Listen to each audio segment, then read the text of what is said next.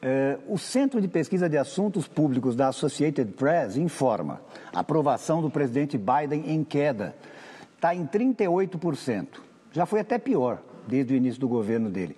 Estava em 36% no meio do ano passado, mas tinha chegado a 45% de aprovação em fevereiro.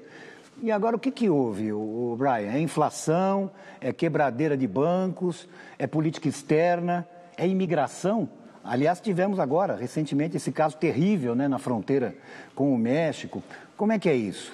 Nessa parte, pelo menos da imigração, nada mudou em relação ao Trump, pelo jeito, né? Veja, Gaspar, eu acho que os americanos descobrimos algo que os brasileiros já sabiam, que a inflação é uma droga. Né?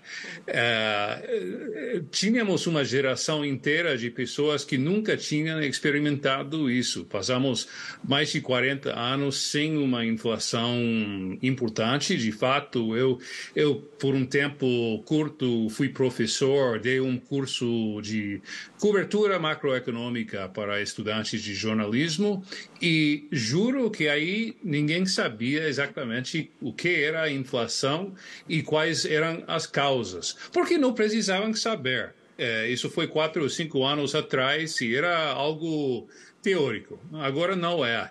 É verdade que a inflação não é um fenômeno novo, mas houve vários artigos sobre essa, essa nova realidade, essa nova queda na aprovação do Biden, e parece que muitos americanos, durante os primeiros 12 meses, 18 meses, conseguiram passar uma parte dos seus gastos para cartão de crédito e assim evitar por um tempo, é, bom, é, essa necessidade de, de realmente reduzir os gastos. Essa janela de tempo agora fechou e muitos estamos sentindo as consequências disso.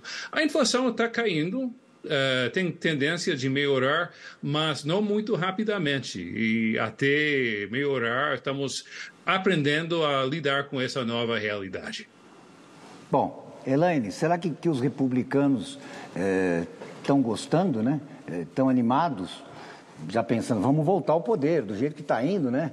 É, seja com um candidato a la Trump, né? ou, ou com o próprio. The real deal, né? O próprio. É, realmente eles estão felizes e eles, o Brian me corrija, eles colocam realmente a economia como um ponto central é, da, é, da piora é, dos Estados Unidos, é, a gastança que houve, que, que gerou é, o problema da inflação. É, há uma previsão para esse ano que haja, inclusive, uma pequena recessão nos Estados Unidos por conta da taxa de juros do Fed, que, que subiu de novo. Subiu e subiu muito rápido.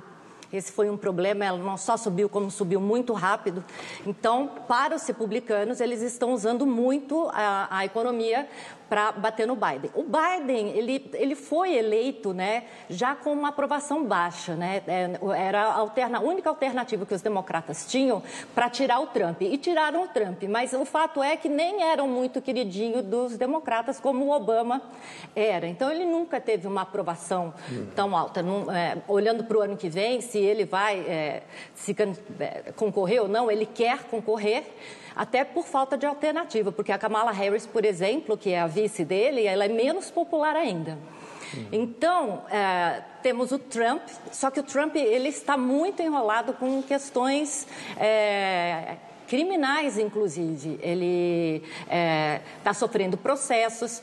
E tem uma pessoa que está surgindo, que é o governador da, da Flórida, inclusive Flórida, onde o Trump nasceu, que é o Ron DeSantis. É. E, enfim, ele foi reeleito agora na Flórida com uma votação super expressiva, é, tá, transformou a Flórida num estado conservador, tem uma pauta conserva, conservadora, que nem o Trump tem, e também ele sabe ouvir o que a população quer, essa população conservadora. Então, é, não queremos ESG, não vamos colocar ESG na pauta. Uhum. Então, eu acho Essa questão que, climática, né, que, que pega é, muito. Ele, ele, ele tem o feeling também do que as pessoas querem. Então, tem, assim, é, vai ser Trump com DeSantis, um dos dois para concorrer é, pelos republicanos com absoluta certeza. É, dizem, há quem diga até que o, que o DeSantis é mais trumpista que o Trump, né? Ou pelo menos tenta se mostrar assim, né? É. O, o João, nós tivemos essa convocação do Trump aos apoiadores, né? Dizendo que ele seria preso, né? Houve até imagens dele, algumas bem realistas, mais falsas, né? Criadas por inteligência artificial, olha aí, ó ele sendo preso, mostrando o que na verdade evidentemente não aconteceu, né?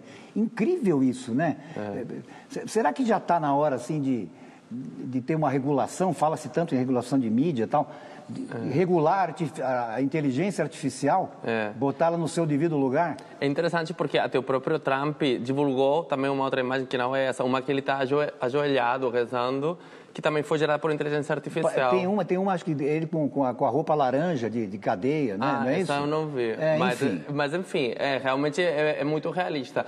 Eu acho que sim, que, que já está na hora de, de, regulamentar, inclusive acho que já estamos perdendo tempo, né? E uma mostra disso é o que aconteceu com as redes sociais que já convivem com a gente há muitos anos e a gente ainda não consegue lidar com os problemas que geraram, né? De, de fake news, de discurso de ódio. A gente ainda está aí batendo cabeça para tentar colocar uma legislação aí. E com a inteligência artificial vai acontecer a mesma coisa. ainda que... ainda falaremos mais sobre exatamente isso.